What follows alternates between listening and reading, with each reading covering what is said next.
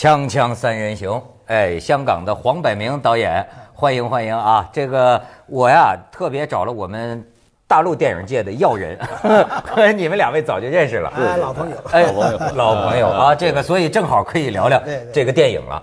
而且黄导演这次啊，这得先说。这个是带着贺岁档，这这继葛优档之后还有贺岁档啊！最强喜事，哎呦，我在香港知道二十年的喜剧系列，家有喜事啊，什么这个带来多少笑成功，步步成功。对，但是据说到现在要大结局了，是吗？啊，对对，最强喜事应该是这个拍完这个停一下，呃，就这个系列啊，停一下，暂停。你这个贺岁档是什么概念呢？香港的贺岁档跟内地的贺岁档不同的。嗯，香港的贺岁档通常都是在春节，我们中国人过年的时候贺岁档，但是内地的贺岁档呢，就从这个十二月已经开始了，圣诞节，圣诞节已经开始，从十一月底就开始了。没错，是是，内地的贺岁档很长。没错，子弹飞来飞去，硝烟现在没散尽呢。跟西方同步的。啊，Christmas 跟圣诞节是同前后同步。不是，这反映了中国人的贪呐。不是同步，而是西方的贺岁我们也要，农历年的贺岁我们也要，所以形成史上世界最长最长的贺岁档。哎，咱们这个先请黄百鸣导演这个最强呃系列哈，我们给大家放一段片花，哎，给我们带来点气氛。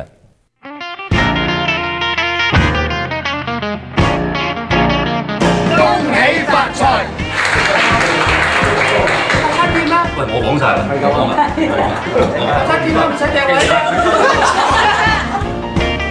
係咪一住得？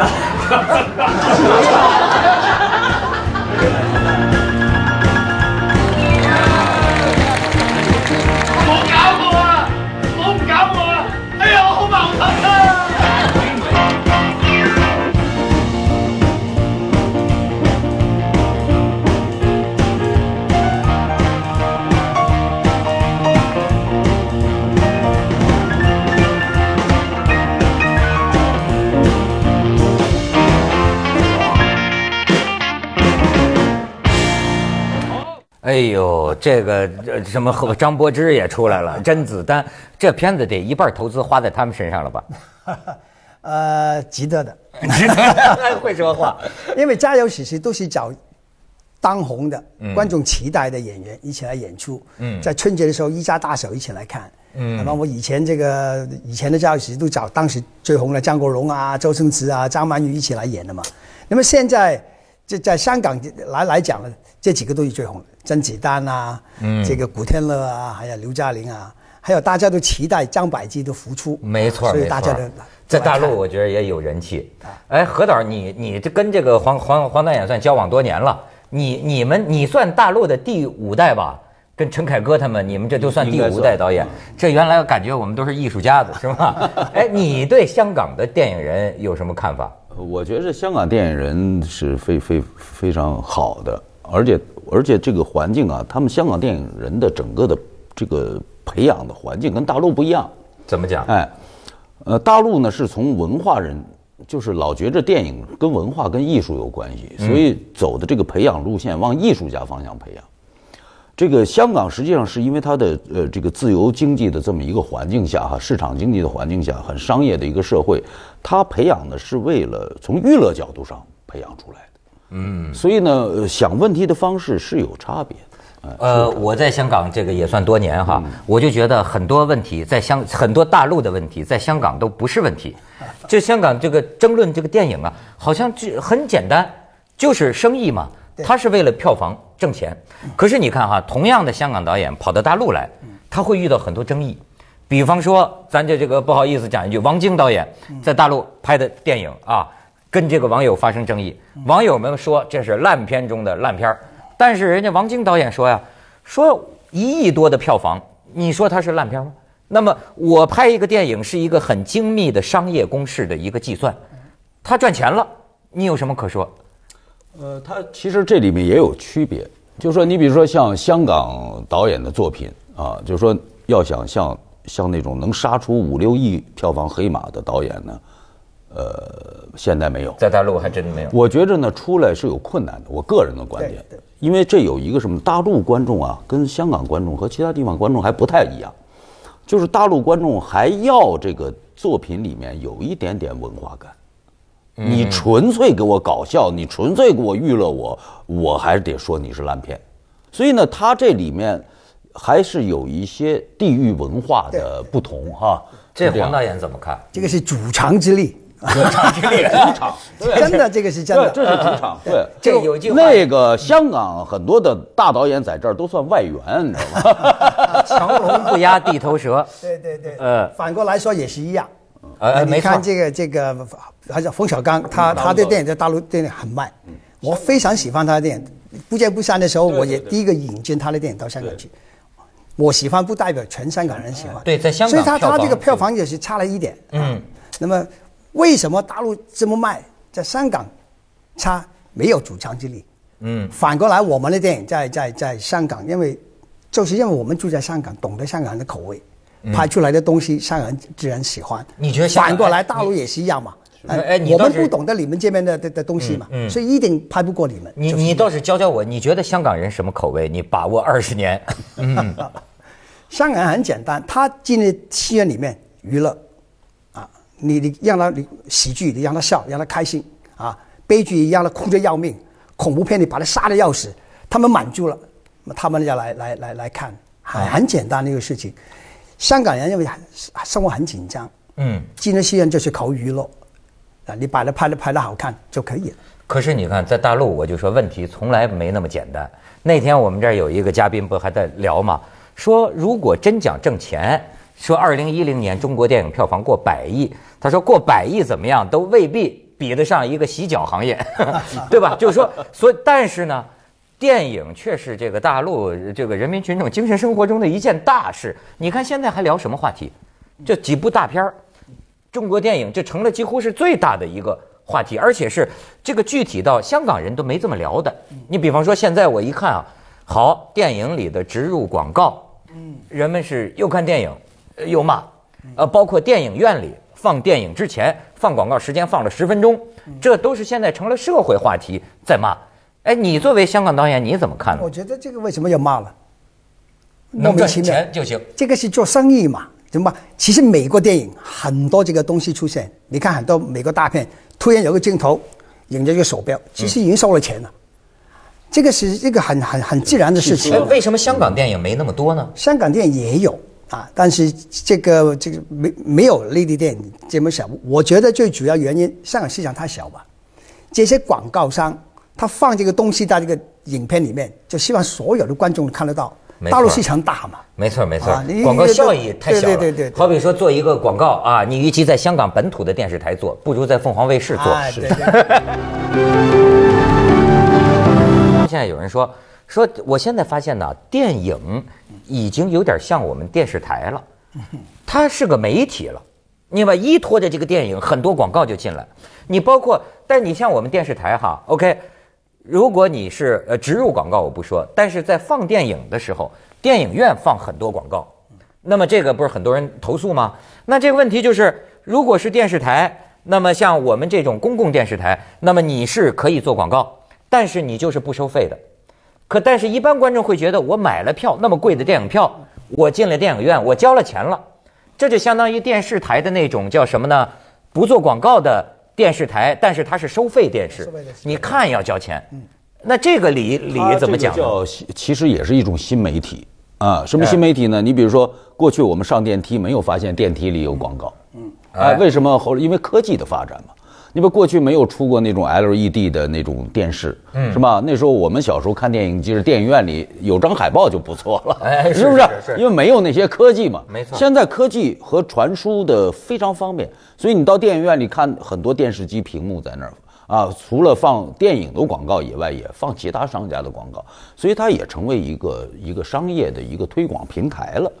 哎，反正现在咱们看看这个中国电影的这个成绩哈，说二零一零年中国电影一跃进速度一百亿票房，产量五百多部，其但是实际上其中票房过亿的电影啊是二十六部，二十六部电影占了一百亿票房里边的百分之六十五啊，呃，然后这是一些赚钱的呃过亿的电影的名字啊，然后你看啊，这个这个贴片广告市场规模可能已经达到四点二亿，比上一年这是增加百分之八十二点六，这是飞速增加呀。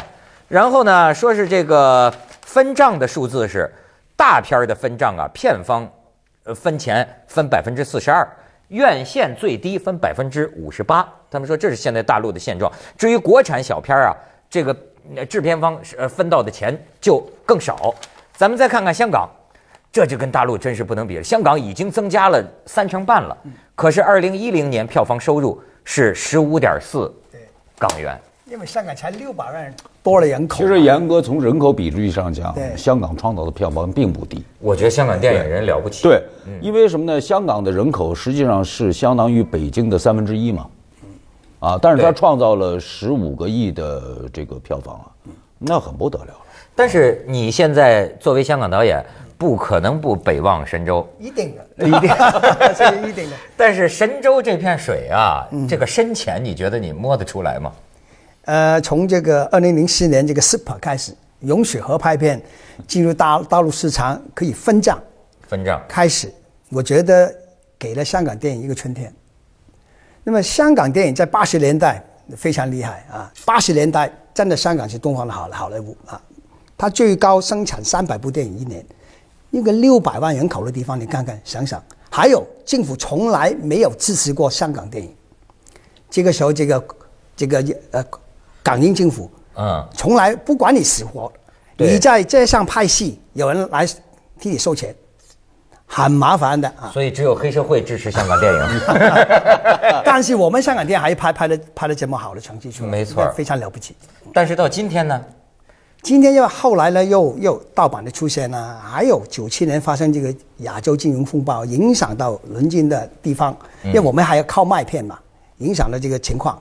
那么慢慢这个大陆这个时候还没开放，叫做开放也是假的，因为我妈跑进来，零四年之前跑进来大陆投资都是焦头烂额烂额的，啊，怎么焦头烂额呢？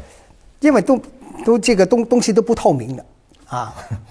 现在很好了，现在 SIPA 之后，二零零四年之后，真的非常的透明。你看 SIPA 之前大陆的票房不能超过十个亿，嗯，现在一百个亿，十倍。嗯，我看还有网上的机会越来越厉害，所以这个也带动了我们这个香港的电影。但是我看香港导演呢，跑到大陆啊，有的也有一些困惑。那天我看见彭浩翔讲一段，他说到大陆有那个人给我投资哈，他说但是这个钱呢跟香港那个投资人不太一样。他说煤老板，说煤老板呢，那说三千万四千万我都有，但是彭浩翔就说呢，我听了听，他是希望他这三千万四千万呢，应该给他产生阿凡达一样的呃收益和效果，然后要不就是说我投给你三千万四千万都行，你拍这个电影要拿奖啊，我的这个女朋友你给我让她当 主女主角儿，这是不是香港导演你在大陆也有挺全世界都有，都有这。个我觉得是彭浩翔啊，这个这个，因为是香港导演，嗯呃，所以他觉着哎，这个事儿很很受刺激呃？受刺激。我们都已经司空见惯了，大陆导演这种事儿每每每年都会发生无数次。找是吗呃，找你来拍戏有点条件的啊，什么这这个呃回不回成本没关系啊，不要赔太多就行啊啊。所以这种事情对我们来讲都已经不是什么特别特别觉着很奇怪的一件事情。嗯嗯啊，那只是我们呃大陆导演呢，就是我我大部分比较比较成熟的导演啊，会用那些职业制片人的钱来拍电影。哎，就职业制片公司的投资来拍电影，因为大家的游戏规则是在这个行业内的游戏规则。嗯，哎，你要用了一个不是这个行业内的钱，这里就很麻烦。呃，麻烦在哪对对，他他不按你游戏规则来呀、对啊，不按你游戏规则来，你拍到半截儿还有给你塞人的呢。哦是吗？那那有新认识的，新认识的哎，不行，赶紧写一个，写一个在后半部分。当然，电视剧比较多这种，没错电影小三后边小哎哎，又有小四来了，小四来了，接着再加十集在后边，再这种事情都会有发生。哎，反倒是香港，我觉得很少这种事，也有，有吗？也有，全世界都有哎，全世界都有。只要是娱乐行业对和资本一结合，一定有这种事儿。金钱美女啊，光娱乐，光娱乐就简单了，光资本也简单了，这俩要一碰，什么事儿都可能。但是这些这些人，就算电影拍了，也不成功。对不会真的成功的还是专业的人。专业的，嗯啊，对这个你解释解释。我是听他们讲啊，说电影投资啊有这个专业的钱和非专业的钱，我们愿意要专业的钱，这个你怎么理解？专业就是我们电影人真正拍片赚钱，在投资在做。这些老板都是业外电影的，最喜欢电影的。其另外的有一些突然在另外一个行业赚了钱了，我钱太多了啊，我玩玩电影，我找你来啊，捧我的女儿，捧我的儿子啊，或者捧我的女朋友，这这大部分都不成功，呃，也拍不好。好像在历史上没有成功没有过，，几乎没有，真的没有成功他有一个什么东西啊？其实这个职业制片人有一个职业的这这个公司的钱呢，他就说他投一部钱，他后面如何宣传包装的预算啊，他都能跟进，嗯，是吧？有时候经常来票友的那些投资人啊，投完了拍完了吧，后边要宣传了要包装了，他也不出钱了，他不知道躲哪儿去了，他做他生意去了。啊那那个东后边那个东西怎么办呢？因为他不职业。还有一个呢，就是职业制片人呢，他知道我一年大概投，比如说五部戏、十部戏，我总有赚钱和赔钱的，他能承受得起赔钱。嗯嗯。那因为赔钱了，他知道哦，这个选材我们可能有错了，或者我们哪些方面啊娱乐呀、推广有问题，他会在行业的这个这个里面总结经验，他下面还会继续投资去拍这电影。还是叫术业有专攻啊，对啊不熟不做，是哎吧？他还他会他会持续的来去做，因为电影是一个长线的投资。但是黄导演，我有一个问题也很感兴趣，就是作为香港的电影人哈，呃，跟这个大陆方面合作，现在就是这个合拍片啊，具体进入到我们这个人情世故的环境里啊，你会觉得有些什么不适应的地方吗？或者需要去适应的地方？要慢慢适应吧。我记得十多年前我们也有合拍片，这个时候我们香港进来，我是最最早进来拍合拍片的一批。哦，那么这个我们带了香港的这个这个这个团队过来，那么合拍片一定要两个团队合作了。基本上，比如一个摄影，一个香港的，一个大陆的啊，道具一个香港的，一个大陆的，几乎在做事情的时候，全部都是香港人做，大陆的就就嚼着手的抽着烟，嗯，十多年前是这样。发表评论的是大陆啊的，对。但是现在反过来呢，你看到十多年后过去了，现在大陆的市场蓬勃了，你进来，大部分工作都是大陆的的的的人，嗯，反而我们也不需要太太多人过来啊，几个主要的团队过来了，下面的人都是非常的快，非常的熟练，十多年的变化太大了啊。所以啊，我原来这个跟这个何导，我们曾经有一次聊啊，我跟他聊呢，就是说，哎呀，说是大陆的很多各行各业啊，这个这个不专业，不管是道具啊还是什么什么不专业。但当时他就有一个观点，他说这不专业，关键是啊钱没给够，说你老是在所有的地方这么压缩，希望不花钱也能办事儿，什么花少钱办钱多的事儿。我举个例子，不是呃，去年出现一个事情，把把这个台湾的一个歌星炸呃烧伤了嘛，爆炸那个呃，事情。对对对对对，其实这就是不专业的表现，对吧？就是因为什么呢？你应该请专业的呃更好的烟火师来去完成这些事情，因为这些东西有就有点做烟火，有点像那什么似的，就是咱们吃那个河豚呢，那厨师你得有证书。就是我的意思，就是说那个是一个很危险的行业，对，这个是不专业的，不专业业的的的做对，一定是出这种事情。那就是说，他的预算，尤其在安全方面或者其他更需要专业人士，这个预算一定要给够。对，哎，所以这个有时候为了压缩成本啊，投资人为了这个急功近利啊，就是呢，把钱花在了演员身上，花在了剧本身上，花在了一些主要的。哎，剩下的人他雇一个三四流的业余队伍，可能就给你干了。嗯，那这就可能会出现问题。嗯咱们先去一下广告，锵锵三人行，广告之后见。